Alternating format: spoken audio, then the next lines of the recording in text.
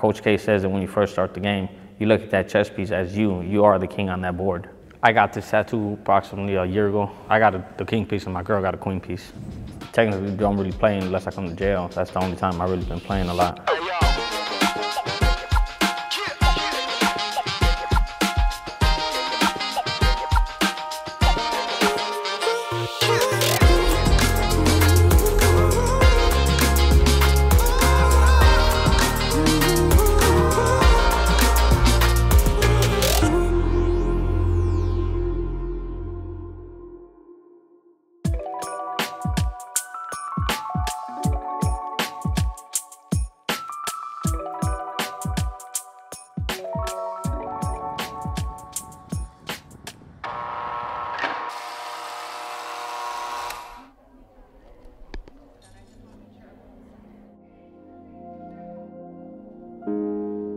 My name is Elwood Dawson. I'm from Chicago. I'm Secret Blackman, My name is Roberto Baeza Jr. and what I want to share is I love tacos, tacos and chess. So yeah.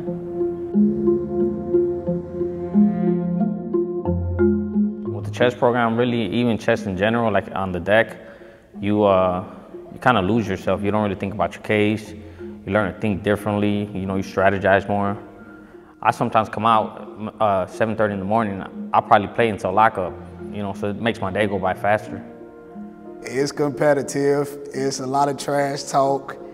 It's, it's, it's crazy, you know. Like the chess players, we got our own little circle, and all of us play each other. We talk trash about who be who, who garbage. Yeah, I never play that dude again. He garbage. I never play him. But yeah, it's real competitive.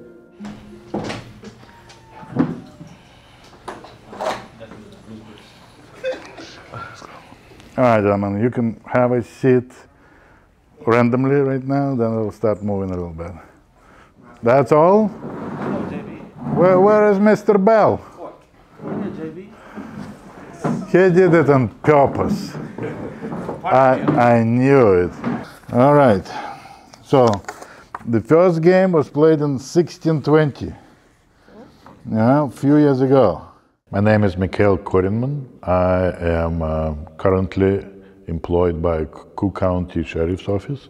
I strongly believe that chess helped everyone to feel I'm the winner right now. I, I won it. I did it. I did it by myself. I did it without any bribery, any help, and I'm the winner. Develop the pieces, go to the center, don't dispose your king. Okay. But that was played in 1620. Okay, let's look what happens in 2004. At first, it was hard. Uh, it took me a long time to win my first game, and then I was about to quit so many times. And I actually won my first game, and that felt good, and just kept going from there. Coach K is actually he's a pretty cool, cool teacher. You know, he's very experienced. He could play without even looking at the board. You know, that's what re- uh, really amazes me a lot. I learned a lot from him. I learned that chess is bigger. I thought it was just like a regular game at first, but he said he went to all these different countries and played chess, and I'm like, what? He just came from over overseas playing chess. He talked trash. I did not know it because he old. I'm like, our first time meeting him, he playing he playing us and he talking trash. I'm like, what? This old man? Yeah, he still talk trash. Oh yeah, he actually had one game won against me. That's why he's putting it so hard to get a documentary that he can win. well, he can. He can. He did. He he even gave me a check.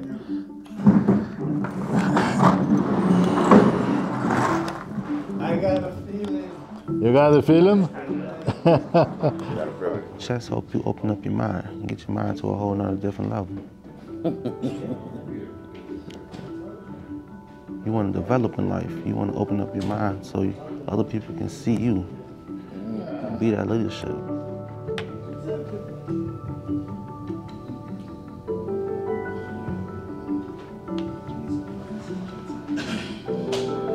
Look, you took this pawn. Why didn't you take this pawn? You cannot move this pawn. Dr. Korenman and I got to be friends uh, years ago because why? He was the individual that, no connection to me whatsoever, he was working for the Chicago public school system, um, not as an employee of theirs, but as a contractor who would teach chess at different locations. Well, he ended up teaching chess at my son's grade school. The sheriff said, Oh, I'd like to have this program in my organization. And I said, Sure, when do you want to start? And he said, What do you mean when? Tomorrow. I had no idea that this program will go for 10 years as of now and will be involved thousands of inmates. Four, five, six white pawns stays on the white squares. We do have one female division in our jail. I just started the project there um, two months ago. I don't understand. The king, the king cannot That's come here. I don't understand. No, no, it's good. It's a lot of women here who never played it that's in the program, but they learning a lot and they actually like it. At first they thought it was boring, and they just wanted to see what it was like.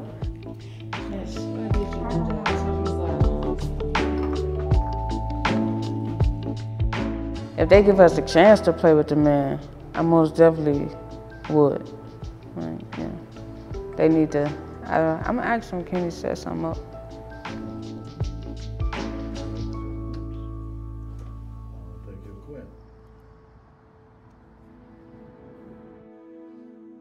there's always this conflating of prisons and jails as one of the same. And it's not just something where um, you're technically wrong and I'll correct you. No, their purposes are completely different. A jail is where people go to wait their trial. Uh, prisons, on the other hand, are where you go to serve a sentence.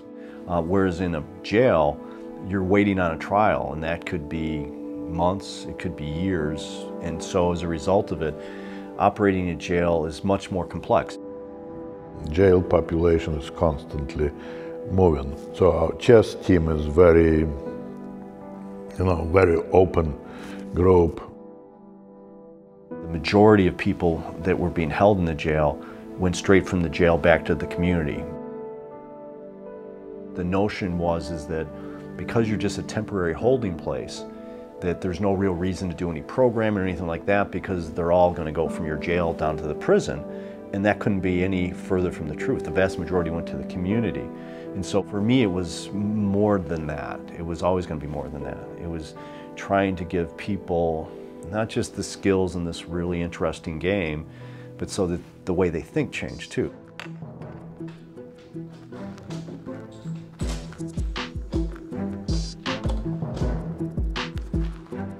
Baeza. Uh, he just beat me, man. We just played like three games. He up two games, man, right now. Um, it's a four to one streak my way. Uh, we haven't played possibly in probably about a week, but he enjoys playing chess too. Me and him actually learned around the same time, and you know, it's been fun watching him grow. He's early on, he'll trade his queen off too. He doesn't mind losing his queen, but he uses his horses more. I be, I'm a little mad if you take my horses, cause they they the deadliest piece on the board. Everybody think it's the queen, but it's the horse, cause you can't defend it. Got it? Uh, some chess boards over there, chess clocks over here. I'm old. You're all in. All right. Now, you want it like white, black? Chess is everybody say it all the time. It's a lot like life. You got to be patient. You got to stay focused. You just got to be aware. I just learned to, you know, be careful and you have to make sacrifices in order to get where you want to go. You just can't, you know, have one option. There's always a lot of options. One research was presented at the University of Texas in Dallas. A number of years ago, it was presented by Brazilian team. General in the country of Brazil, it's 72%. 72% of the prison population at some point of time getting back to the prison. The research which the Brazilian team presented showed that if prisoners stay with chess for at least one year, this rate drops to 48%, from 72 to 48 with chess. All right. Hey, he got me. He got me. I can't, I can't come back. I'll be packed though. Could y'all be packed? Yeah. Good job. I will see you all next week. All right, see you in a, in a, in a week. Mr. Scott, behave.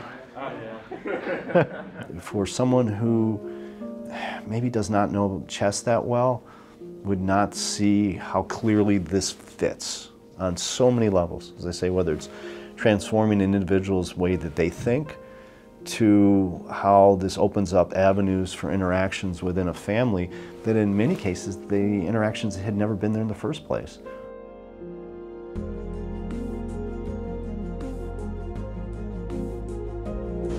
Um, okay, we're ready for a small press conference. It is something that has never happened anywhere in the world before.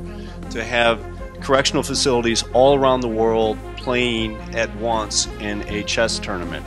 Army is very proud to participate in this tremendous event. It will be an honor for us to be part of any of your future undertakings. Last year, we organized the first international um, intercontinental online championship for, for, for prisoners. It was 31 countries participating, 40 teams, five female teams. I know without name naming the country that some maximum security facilities where prisoners could not be more than one in a room. Before I met him, I would never like that people do that. I think, yeah, it's chess competitions, but all over the world, online, throughout the jails, playing against each other, that's a whole different thing. Like, he opened that up.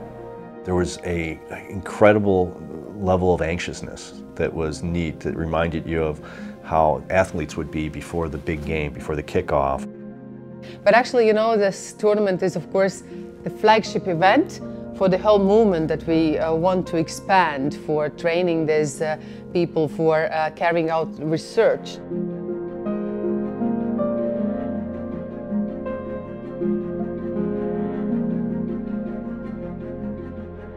Nobody could even believe that Zimbabwe and Mongolia will play a final round ahead. Mongolia won the championship.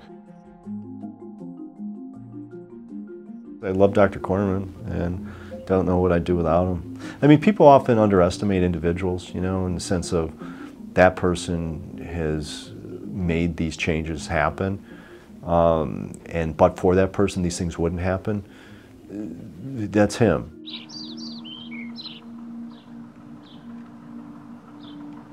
I had an opportunity to go to New York City and uh, stop by one or two, I named them chess rooms, and they were packed.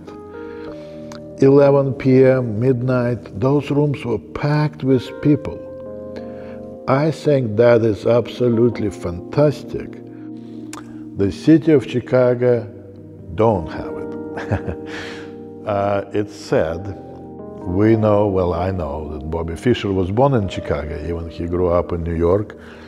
But still, the city of Chicago should have more. Dr. Korenman's vision for quite some time now, and I bought into it immediately, was to try to figure a, um, a method to come up with a chess center, for lack of a better word, on the outside of the jail. So for all the different people that we've engaged over the course of the years, and many of them we keep in contact one way or another with, um, would to have a location where they can go to on a regular basis. Yeah, I want to teach my kids how to play. My my sons, I got three sons. I want to teach them how to play. I, I do want to get my daughters into the to the chess clubs. I know, like at my daughter's school, they got a chess club, and she wanted to join too, just to learn. So that's something I'll probably be pursuing. Happy birthday to me. I'm 24, my Kobe year. Um, and unfortunately, I'm in this circumstance, but I'm gonna make it through. I won't be here next year for sure. So, yeah.